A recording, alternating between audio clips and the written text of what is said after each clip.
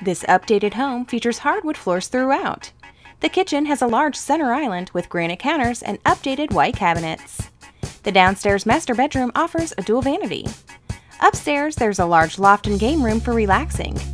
The spacious and private backyard features a screened-in back porch, a huge deck, and a beautiful oak tree.